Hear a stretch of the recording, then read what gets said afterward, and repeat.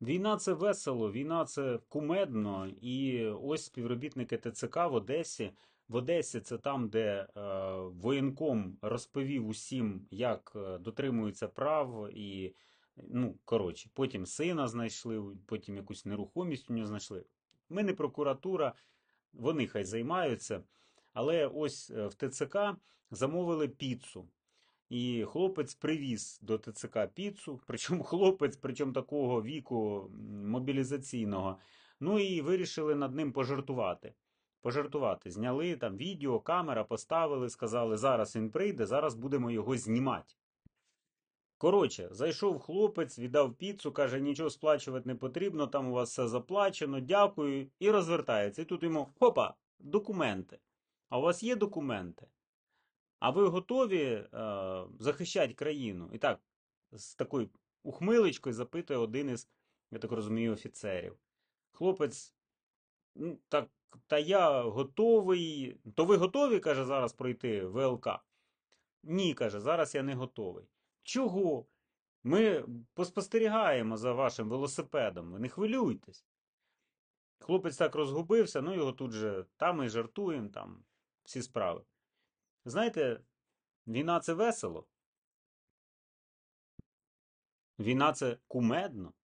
Чи просто хтось десь передивився 95-го квартала і вирішив, що для громадян України, які дійсно перебувають вже два з половиною роки під законами про мобілізацію, громадяни України, які масово розсилають, причому часто незрозуміло куди, сама Укрпошта сказала, що ми просто розсилаємо на адреси, які прийшли від ТЦК з якихось реєстрів. Громадяни, які можуть отримати не тільки повістки, а і заблоковані карткові рахунки, арешти майна, заборону а, управляти автомобілем, так ось а, над цими громадянами ще й потішаються. Ніби це жарт, ніби війна закінчилась, і ніби можна вже над цим пожартувати. Не знаю, звідки взялось це у людей. Не знаю, чому ми почали ставитись до війни як до чогось такого, типа на слабо. Ану, давай, пацан, на слабо. Ану, можеш на слабо? Пам'ятаєте, в дитинстві було? Ану, можеш на слабо там щось зробити? Як правило, щось було безглузде. Чому ми починаємо ставитись до війни як до чогось такого, над чим можна пожартувати, постібатись, підколоти? Чому? Є у вас відповідь на це питання? У мене особисто немає. Я продовжую дивитись на війну як на велику трагедію мого народу. Я продовжую дивитись на війну як на ту подію, яка має бути завершена. Я продовжую дивитись на війну як на жертви. Я продовжую дивитись на війну як на невизначеність нашого майбутнього. І я абсолютно не схвалюю ніякі жарти на цій темі. Ні жарти 95-го кварталу, ні жарти інших коміків, які чомусь заброньовані і не служать, і розповідають, що а що я там в армії зроблю, мене там снайпер, а інших хлопців, а інших дівчат, а інших чоловіків, жінок, які там перебувають, а цивільні, які перебувають на першій лінії під обстрілами. А діти, які перебувають у Харкові, у Миколаєві, в Запоріжжі, в Сумах, у Львові, в Тернополі і туди долітає. А вони як? Як вони живуть?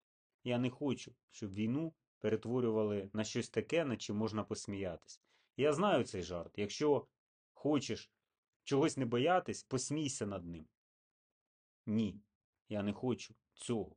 Я не хочу сміятись над війною, бо війна це не смішно. Війна це смертельно, війна це небезпечно, і війна це те, що треба завершувати, а не звикати до нього. А ось такі жарти і покликані зробити в вас відчуття, що війна це не так і страшно, що війна може тривати роками, що війна це просто наш буденний стан, така наша реальність щоденна.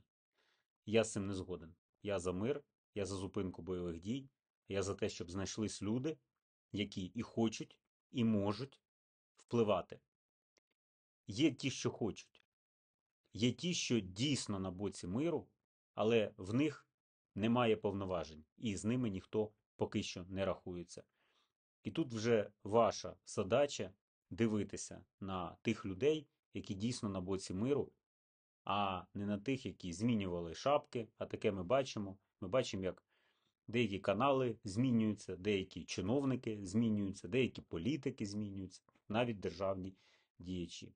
Не ведіться на це і оберіть, на якому ви боці, за війну чи за мир. І не забувайте, що якщо ви за війну, то жарти, які в ТЦК, мають бути для вас не жартами. Ідете, мобілізуєтесь і захищаєте країну. Не мають слова розходитись із діями.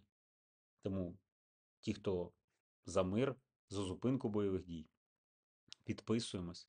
Хто вважає інакше, ви знаєте, що робити.